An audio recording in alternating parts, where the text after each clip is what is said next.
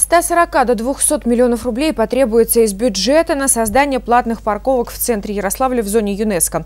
Такие цифры прозвучали при обсуждении этого вопроса на комиссии муниципалитета по экономике. В то же время пополнить казну предлагалось за счет продажи четырех муниципальных бань. Однако новации одобрили не все. На Перекопе, в частном, где самый старый частный сектор, вообще как рука у кого поднялась, Александр Иванович, включить в этот список – Хоть 10, хоть 20 миллионов пускай будет убыток. Но это наша городская задача. У нас других задач-то образование, в бане помыть человека, да в церковь, чтобы он сходил. Предложение о продаже четырех муниципальных бань некоторые депутаты встретили буквально в штыки. Другие говорили, что в помывочной бухгалтерии надо сначала разобраться. Сегодня бани несут большие убытки, которые покрываются за счет бюджета.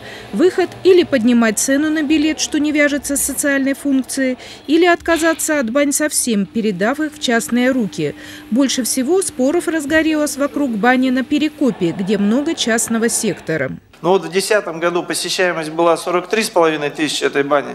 43,5 тысячи то в 2014 всего лишь через 4 года уже 16 тысяч всего, в три раза упало, понимаете? Это все понятно, корпуса развесли. И, и, соответственно, чем меньше посещаемость, тем больше убытки в этой бане. Сошлись на том, что этот вопрос еще требует дополнительной проработки. Если и выставлять на продажу, то в первую очередь баню на Большой Октябрьской, где много арендаторов и нет частных домов.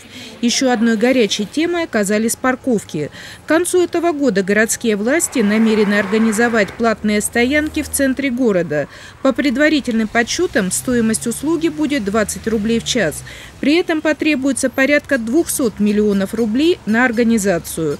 Будет закуплено видеооборудование, терминалы для оплаты, установлены дорожные знаки. Заведовать всем станет муниципальное казенное учреждение, куда нужно будет набрать сотрудников.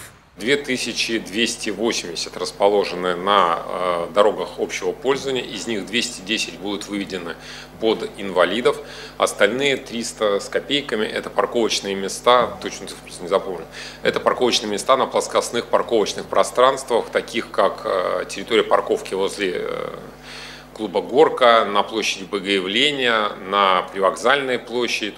Чтобы не наломать дров, местные власти внимательно изучали опыт создания платных парковок в центре столицы. Однако депутаты раскритиковали мэрию за нерасторопность в этом вопросе.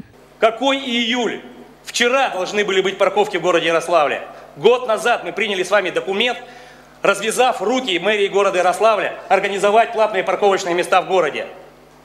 Нет ни одного правового нормативного документа принять муниципальный правовой акт о парковках, ну то есть, их, ну, то есть мест, местах, Игорь вопрос, в форме оплаты и о том, кто будет этим заниматься. Три документа должны появиться, я считаю, не позднее июня. При этом власти признаются, что быстрой окупаемости от этого проекта не ждут. Его главная задача – организация дорожного движения так, чтобы в центре было где припарковаться.